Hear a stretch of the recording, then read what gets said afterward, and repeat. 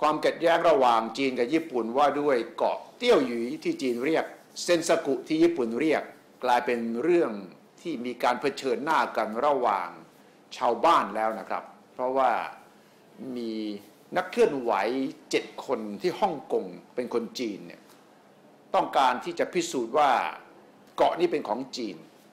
ก็จะเอาเรือเนี่ยไปที่บริเวณใกล้ ๆ กับเกาะนี้เพื่อที่จะไปตกปลา เพื่อพิสูจน์ว่านี่เป็นดินแดนของจีน จะแวะที่ไต้หวันก่อน เสร็จแล้วก็จะไปที่เกาะเตี้ยวหยูนี่แหละ รัฐบาลญี่ปุ่นก็ประกาศทันทีครับว่า ถ้าคนจีนจากฮ่องกงเจ็ดคนนี้เนี่ยมาที่บริเวณนั้นแล้วก็เจอกันแน่ เพราะว่าเรือลาดตระเวนชายฝั่งของญี่ปุ่นนั้น จะอยู่บริเวณนั้นตลอดเวลาทุกนาที เพื่อป้องกันไม่ให้ใครมาอ้างสิทธิ์เหนือบริเวณนั้น ก็จะกลายเป็นเรื่องขึ้นมาแล้วครับ เพราะว่ารัฐบาลต่อรัฐบาลออกแถลงการเผชิญหน้ากันด้วยวาทะทางการทูตการเมืองนั้นเนี่ยก็ยังไม่มีการเจอหน้ากัน แต่ถ้าคราวนี้มีนักเคลื่อนไหวของจีนที่ฮ่องกงบอกว่าจะว่ายน้ำข้ามไปว่ายน้ำนี่เกาหลีใต้ใช้วิธีนี้กับญี่ปุ่นมาก่อน แต่คนจีนกลุ่มนี้บอกว่าไม่ได้ว่ายตลอดทางหรอกจะนั่งเรือไปนี่แหละ แล้วไปตกปลาบริเวณนั้น แล้วก็จะลงไปจับต้องน้ำได้ด้วย ถ้าจำได้เมื่อปี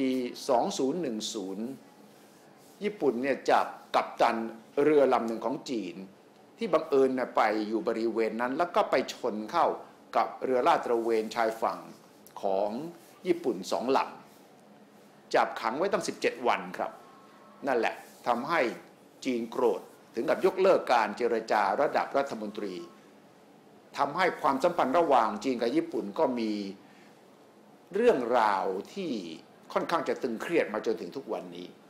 ฉะนั้นถึงแม้ว่าเกาะเตี้ยวหยีหรือว่าเซนซากุ แล้วแต่ใครจะเรียกเนี่ยจะเป็นหมู่เกาะที่ไม่ได้มีความหมายมากมาย ยกเว้นว่าสงสัยกันว่าอาจจะมี น้ำมันมีแก๊สอยู่ก็ตาม แต่ว่าเป็นเรื่องของศักดิ์ศรีครับ เป็นเรื่องที่ต่างฝ่ายเนี่ยรัฐบาลจีนและญี่ปุ่นไม่สามารถจะถอยได้ เพราะว่าความรู้สึกชาตินิยมของคนทั้งสองประเทศเนี่ยก็จะไม่ยอมให้รัฐบาลถอยเป็นอันขาดฉะนั้นนี่ก็เป็นอีกจุดหนึ่งครับที่น่าเป็นห่วงเป็นใหญ่นอกจากทะเลจีนใต้ที่จีนกับเวียดนาม ฟิลิปปินส์มาเลเซียมีปัญหากัน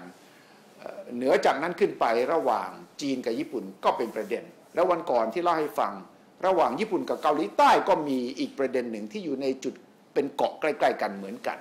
ฉะนั้นทั้ง 3-4 จุดในบริเวณใกล้ๆบ้านเราเนี่ยเป็นจุดที่ต้องจับตาใกล้ชิดครับ เพราะว่าพลาดท่าเสียทีถ้าหากไม่สามารถจะใช้วิธีการเจรจาได้แล้วก็ไม่แน่ครับอาจจะเป็นเรื่องของการไปแตะอะไรเข้าจุดเล็ก ๆ น้ำพึ่งหยดเดียวจะกลายเป็นเรื่องเป็นราวใหญ่โตได้ ฉะนั้นต้องป้องกันทุกวิถีทางครับ